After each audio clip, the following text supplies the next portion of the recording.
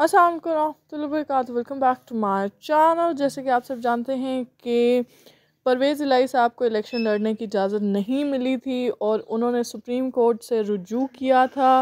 आज supreme court ने परवेज़ इलाही को इलेक्शन लड़ने की इजाज़त दे दी है और ये भी हुक्म दिया है इलेक्शन कमीशन को कि उनका नाम बैलेट पेपर्स पर दर्ज किया जाए। तो आज के लिए इतने शाह तमजीद खबर करें लाइक सब्सक्राइब करें लाजो नासिर।